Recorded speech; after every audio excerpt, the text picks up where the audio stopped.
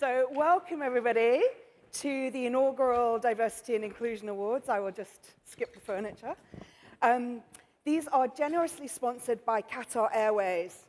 So we all know, because it's come up many times, that we have a lot more to do to bring true diversity into all levels of our organizations.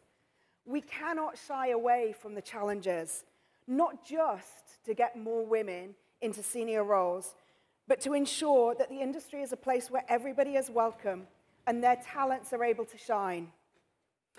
We know at IATA from our work with Korn Ferry on a survey that we did earlier this year called Soaring Through the Glass Ceiling that all underrepresented groups in our industry are asking to see stronger role models that they can aspire to. They want to see that organizations are really investing in their employees and opening their doors and their minds to true diversity and inclusion. Now, these awards in themselves are not going to fix the historical issues that we have in our industry, but they will start to shine a light on what our role models and pioneers are doing to change the demographic, to inspire future generations to join this great industry, but also to enable employees, women and men, to unleash their talents across all sectors of the industry and at all levels of leadership. By showcasing some of the wonderful work that's being done, we provide a platform to others to demonstrate how diversity and inclusion is not just the right thing to do, but it's the only thing to do if we want to ensure a sustainable future. Without further ado, I'd like to invite our esteemed panel of judges and generous sponsors from Qatar and our DG to join me on the stage.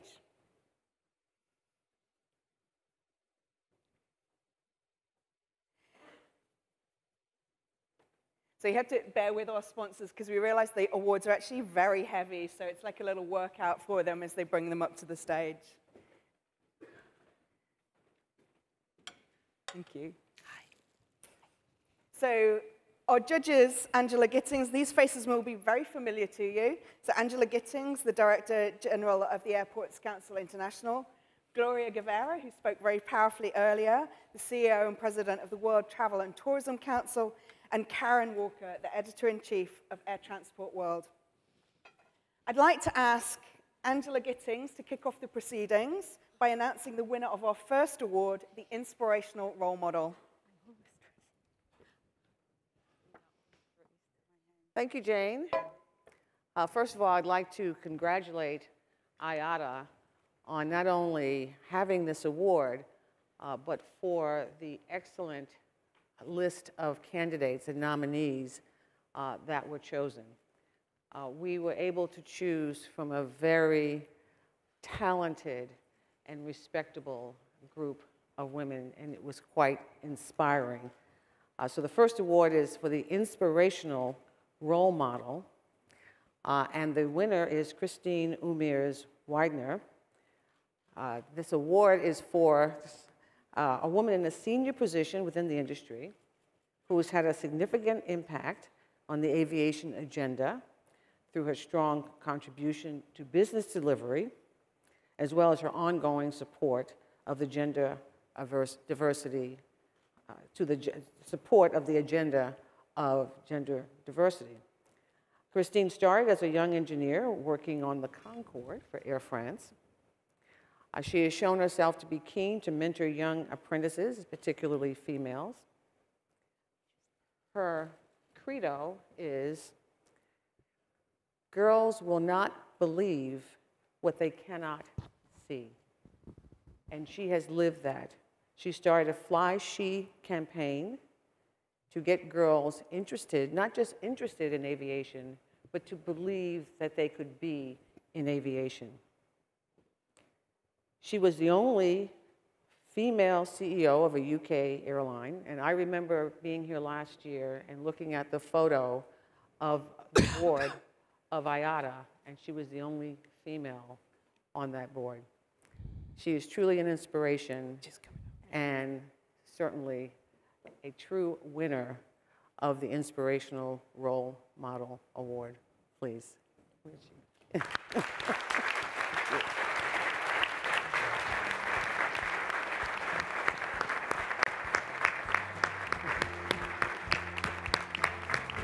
Two hands. Whew. That's very heavy. um, I must offer first huge thanks for IATA and uh, for establishing the Diversity and Inclusion Awards uh, this year and to Qatar Airways uh, for sponsoring them. It puts a much needed uh, spotlight onto an issue that definitely can completely transform our industry as it moves into the future. I'm very honored to be the first woman to receive this inaugural Inspiration Role Model Award I'd like to congratulate all my fellow winners, but also all the nominees and all the women in this room because we are all inspiring role models. We have made uh, so many uh, improvements already in this industry, but uh, when I look around in this room, I think there is much more to be done, and I think we can do that together. We need more women in leadership, but we are getting there too slowly. And uh, through this award, I will be able to help to ensure the presence of at least one more woman in such a role, and I will explain to you how. And don't worry, we are not going to take over, at least not yet. Transformation can only benefit uh, future decision making it brings new skills and competencies and different perspectives, and we all know that diverse organizations are more successful than others. Our overall level of ambition should be to achieve a real gender balance, and I mean 50-50, but by keeping always the fundamental rule of choosing the best person for the job. And IATA should be the voice of the industry. I really believe that regardless of whatever country or cultural background we come from, it all starts with our children. Young girls need to be encouraged to have the same dreams and ambitions as young boys. There should never be two modes of education, one for girls and another one for boys, uh, where girls are typecasted at an early age. Two plus two equals four, whether you are a girl or a boy, and gaining an aeronautical engineering degree or qualifying as a pilot should automatically be seen as achievable by all regardless of gender, and this attitude needs to be instilled at an early age. Last year, Flybe commissioned an independent research across 2,000 UK families with children aged between 6 and 17. It revealed a huge gender bias in the roles to which children currently aspire. When thinking about future careers, girls are half as likely as boys to want to become an aviation engineer and four times less likely than boys to want to be a pilot. On the other hand, girls are almost three times more likely than boys to pursue a career as cabin crew when they grow up. We all know with all our famous, famous customers and uh, we love them so much that, that are bringing on board more than they should, maybe we should be putting more rugby players, men, in crews to leave the carry-ons. to encourage and inspire more young girls to consider aviation as a viable option, there needs to be more emphasis on steering towards science, technology, engineering, mathematics, and they're never too early to start motivating ambition. And in addition, we need to also to change the perception of our industry and it should be seen as more diverse, so more exciting, more modern, and more fun, because we need to be more attractive employers. And I hope to use my career to experience and network to open doors and continue to push the gender ceiling as high as possible. I'm not that tall, but I have strong arms. so girls cannot be what they cannot see, and they need to see more inspirational role models. And we launch FlyShe also to include more young girls through apprenticeship and new recruitment. By including a large percentage of the population that's currently not enough represented, we can address the future skills shortages facing aviation. Finally, the big question is what I'm going to do with my $25,000. And I did allude it uh, earlier, I obviously want to use it to support diversity and inclusion within our industry. So my intention is to sponsor a placement at Cranfield University for one deserving woman to achieve an MSc diploma in air transport, and then for her to one day stand here before you to deliver a speech herself. I'm very excited to get started. An open call for a search to find the best candidate is being officially launched today, and I cannot wait to review the application. I'm sure that many of you also have been lucky enough throughout their careers to meet fantastic CEOs, managers, and entrepreneurs. So I will also be offering to the winner an ongoing mentorship. I would challenge each of you in the room to do the same for a woman in our industry. No matter what your role you have, you have more experience and expertise as someone still coming up through the industry, so share it. And please, wherever you go, with whoever, whoever you speak to, tell the youth that an engineer is a woman, a pilot is a woman, a CEO is a woman. Together, we can lead our industry into a fully diverse and inclusive future for the success of all. And I thank you again for this award, and I promise to strive to continue to merit it as my career continues. Thank you. So Christine, if you want to go and have a, an, your official photograph taken. So as, as Christine is, is having her official photograph taken, uh, which will be used, as she said, she's going to be launching a fund um, for a, a, woman to study at Cranfield. We'll use these photographs to help her kind of spread that message. Now, Gloria, over to you. If you would like to join us on the stage to announce the winner of the High Flyer Award. Thank you. Thank you. I think someone left their glasses here. Thank you, thank you. Good afternoon. Uh, thank you, Alexandre, for the invitation. This is an honor for me and WTTC to join this distinguished panel and participate in this important initiative. I'm delighted to present the High Flyer Award. Aviation is a very exciting industry, and as we heard, we have to support doubling the growth. So we need to make sure that we attract new talent and young talent. So this High Flyer Award recognizes young leaders who are driving the industry forward. And we had a long list of candidates, and it was very challenging, I have to say. But it's very important to recognize who is encouraging new generations in, in our industry through different initiatives. Involvement, for instance, voluntary organizations, attracting girls to aviation, recruitment programs, and the most important is to inspire future generations to work in this amazing industry. The future looks bright and looks great. It was very complicated to select a winner, I have to say, because we had great candidates. Our winner set up the African Aviation Professional Association in 2014, which aims exactly to attract the future generations to our industry. She focused on the future of work, which is a top priority for all of us. I know from WTTC that's one of our priorities for IATA as well and for this amazing industry. Also helps to diversify the profile because our passengers have a very diversified profile. So it's very important that the industry also is very diversified, sustainable, and inclusive. Attracting, as I say, new generations. It's helping us today to bridge that gap and to bring youth to aviation, bringing mentors to communities, especially to children that they are in the most unprivileged um, groups.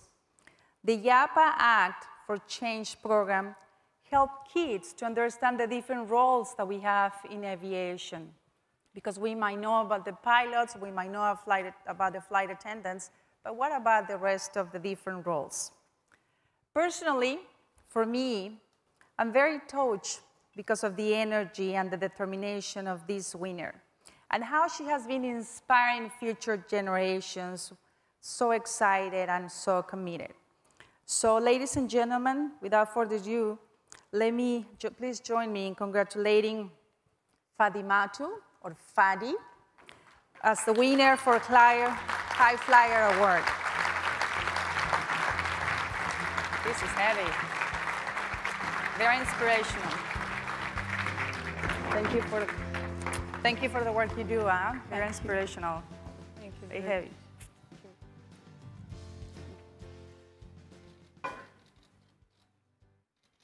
I'll leave you now. Say some words. I will want to keep you on stage with me. Huh? I will want to keep you on stage with me, right? Ah, here. okay, sure. I had to prepare a speech, but writing down, I, I might have missed my words. So I want to share exactly the feeling that I have from the heart. I would start by thanking IATA for initiating diversity and, um, excuse me, for this initiative of the Diversity and Inclusive um, Award, simply because I am a woman who joined aviation nine years ago. I studied in, I was born in the city and I studied in the rural area just because school learning English was in that area. And I remember my mom telling me, if you don't speak English in the future, you won't have a place. And knowing about aviation nine years ago, I was very concerned with the fact that being at school, I never had an opportunity to know about what aviation was and the importance that aviation has in the development of all economies. So I was privileged to join the startup of my national airline. And I found out that something needed to be done because we all know aviation in Africa is still in progress. And I said, we need to start from the roots. I couldn't fight those before me. I couldn't change those with me. But by inspiring the next generation and creating a platform of exchange between inspiring people like Gloria and all of you professionals here, and having the support of all the organizations in Africa, AFRAA, AFCAC, IATA, supporting me each time I had this idea of creating a platform to exchange between the to create exchange between the professionals and the youth, they always reached out and said, "Your idea is not stupid." So thank you very much for all those who, in respective conferences, have in one way or the other inspired me by making me understand that I was on the right track. I got special mentor from a very inspiring woman, Funke from IATA, who always ran out each time I said I was doing a youth event in a school. I cannot, I cannot forget the very first Youth Aviation Forum that I held in 2016. I was very afraid because it was the 50th anniversary of Cameroon, and we had the Youth Week, and I said I wanted to make a strike. So I reached out to IATA and I said, please, I'm organizing the first Youth Aviation Forum for Africa. Even though I cannot pay for your transport, I need you to make a speech. And this was amazing because IATA rushed out, and I had Raphael Kuuchi joining me with Funke, Fabrice Sairi, and Sidi.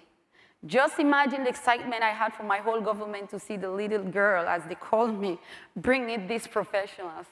And that changed the life of many youths in Africa.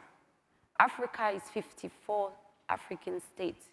And the Young African Aviation Professional Association builds the bridges between these 54 states. And getting this award today is not for Cameroon.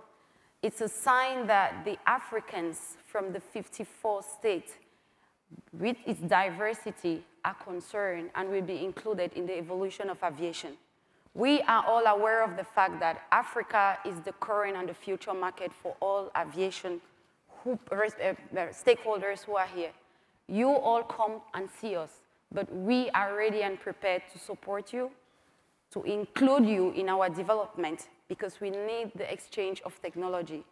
We know you are all interested in seeing aviation prosper, but we too are part of the world. And all of us are ready in our respective activities, and we reach out to you through our different um, forums and uh, projects like the YAPA Act for Change or the Yapa community, community centers we are about to put to give the opportunity to these underprivileged kids or those who are passionate about aviation and who don't have the possibility of joining the industry because with passion we can, mount, we can cross mountains. I want to give a special thanks to Qatar Airways for giving us the opportunity to have the 25,000 US dollars. You just can't imagine the number of school bags or the number of computers or the number of screens that we're gonna have to enable these kids dream by having the flight simulation and saying that they can become pilots, or having an overview of what an airport can offer, or taking these kids going around the airport when they can't even afford every day to get a proper breakfast or lunch. Yet, the passion of being educated, the passion through technology of seeing what is happening elsewhere and having them involved is the best thing we will offer them through our community center with the money we're going to receive. With this said, if I have to talk, it will be for the whole day. I have a whole continent waiting for me. I'm going to take this award to the five regions of Africa because we are working for a united Africa, Northern Africa, Southern Africa, Eastern Africa, Western Africa, and Central Africa from where I come. Thank all of you.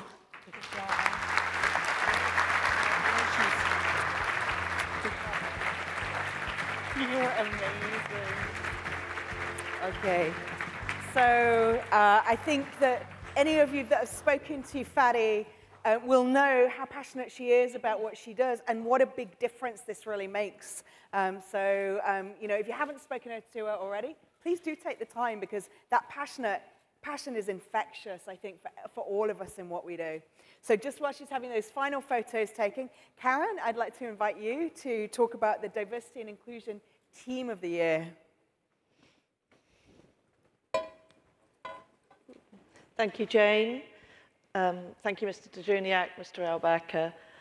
Ladies and gentlemen, good afternoon. I'm absolutely delighted to present the Award for Diversity and Inclusion.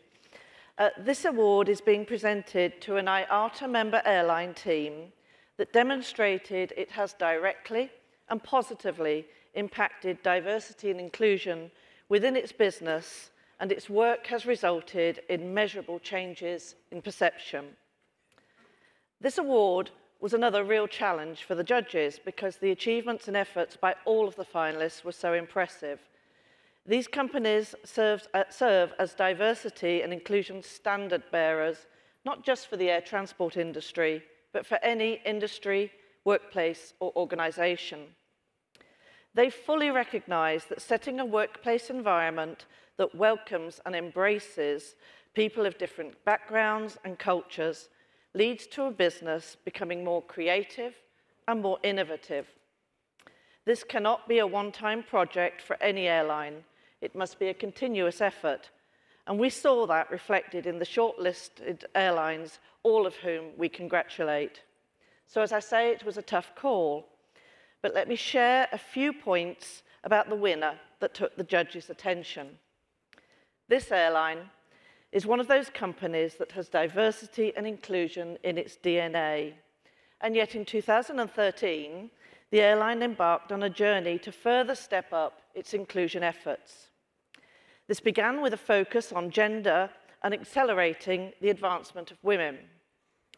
That extended into a broader area focus such as ethnicity and LGBT inclusion. The company set metrics so that they could track progress.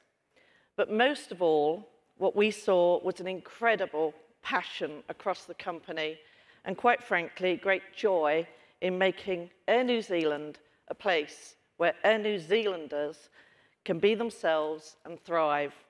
I'm absolutely thrilled to announce that the inaugural Diversity and Inclusion Award goes to Air New Zealand. Please welcome of course, needs no introduction, but Air New Zealand CEO Christopher Luxon. Good. Congratulations. Inga mana, ngā reo, inga rauranga tira mā, tēnā koutou, tēnā koutou, tēnā koutou katoa. Kia ora, good afternoon, and special greetings from all of us uh, in New Zealand and at Air New Zealand. I just want to say what a great honour it is to be able to receive this Diversity and Inclusion Award on behalf of 12,500 really diverse Air New Zealanders. I want to say thank you to our diversity and inclusion team who've been great agitators for change as we've tried to build and accelerate this agenda uh, over the last six years. When we started six years ago, what was our goal? Our goal was very simply to make sure that we could build an Air New Zealand that was representative of the great country that we come from, Aotearoa New Zealand, and all of the diversity that sits within it. And so that's the program and the progress that we've been on over the last six years. We've done it not because we think it's the right thing to do, but it actually kind of is. We've done it because there's a very compelling business case behind why diversity inclusion should be at the heart of what a company's strategy is all about. When you look at the research, companies that have a top quartile ethnic diversity uh, leadership group uh, have about a 33% more likely chance of delivering uh, higher than average market share. When you look at top quartile gender companies, they deliver up to 38% more than the average market share across the piece. So it's not just the right thing to do, it is actually a really compelling business case. And I would argue when you look at Air New Zealand's result through the lens of customer, commercial, or culture, we think the diversity and inclusion is at the heart of what we've done, has been a big driver and a big reason for that success. But let me put a challenge to everyone in this room because there's a big elephant in this room, which is that if we're really honest with ourselves and we say it as it is, uh, the diversity uh, track record from IATA and from all of us in the global aviation industry is pretty abysmal. And yet, if we want to come back in 12 months' time and have another embarrassing sort of lip service conversation about it all, uh, we actually need to do some real action between now and when we regroup again in Amsterdam in 12 months' time. And I think there are some really practical actions that each and every one of us as airline CEOs or executive members of teams or senior leadership within our airlines can do when we get back to our homes. And the first is that actually we start with women. And why do we do that? Because women represent 50% of the world's diversity. And if we can't get it right for women, there's no chance that we'll be able to build greater and more diverse organisations with respect to sexual orientation, age, disability, ethnicity. And so for us, I think uh, there are some things that we can practically do in the next 12 months together. And the first and foremost is to set some targets with some real teeth. Uh, this is about overcoming the unconscious bias that sits in our recruitment and our advancement of women through our organisations. It's not about quotas, but it is about having some serious targets around that. I think the second thing we can do is actually build out a really strong women's network within our organisation so that the voice of women is really captured within our organisations and is played back to us as the senior leaders so we know how to improve our companies and to make it a better place where they can be themselves and actually thrive. There's some real big programs around development and management that we can do together. There's certainly a lot that we can do around pay. Uh, we have a 0% pay equity gap. Women are paid the same as men for doing the same job. It's a basic construct, but we kind of need to start there and actually fix that up and get that done right.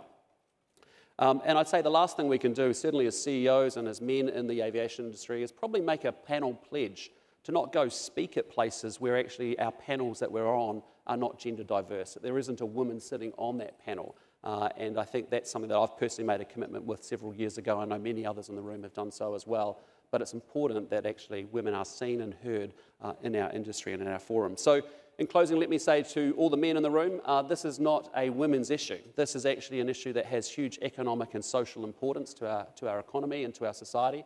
If women can't succeed in our corporate life and our boardrooms, they won't succeed elsewhere uh, in society. And I'd say that for too long, women have actually led the charge advocating and driving hard won achievements uh, around uh, uh, gender equality. And I think it's time for powerful, decent men who have the influence to actually step up alongside women not doing it for them, but stepping up alongside and beside them to help advance the case of gender equality. It's a pretty disruptive strategy, but I think men taking it to men is a pretty good way uh, to build the case of more diversity. So thank you again for the award. It means a lot for us. It encourages us to keep going, and uh, I look forward to seeing more progress in the next 12 months. Thanks so much. Thank you, Christopher. If you just want to join for a photo. So I, I think we must thank Qatar Airways for being bold enough to take the action to sponsor these awards. You know, you can really see the difference that it's making on an individual level and on an organizational level too. And, and as you sit here looking at the winners and having heard those stories, I think Christopher was very clear in some of the actions that he suggested you can actually go tomorrow and talk to your leadership team and say, what can we do differently? I think You know, at the heart of our industry is connection, and that is connecting people and connecting the diversity of our world. And that means that we need to actually be proactive. But diversity is nothing if we don't think about inclusion too. And inclusion is a personal choice every moment of every single day. And so as you're going on your journeys home, I really ask you to think about what can I do to be more diverse and inclusive in my organization? Um, because I really want to, I hope that once you start to take action, we can start to see changes. Because next year, these were an amazing bunch of people, and I think that they've set the benchmark for all of us to aspire to. But next year, I want to see you here. I want to see your applications for these awards, because we will be doing these awards next year too. And I'm pleased to announce that we'll be opening nominations for those in February 2020, so please do look out for them. In the meantime, I would like to ask you to congratulate our winners one final time for the tremendous work they have done, and also to thank our sponsors who have generously supported this initiative. So many, many thanks and congratulations. Don't go, Christopher.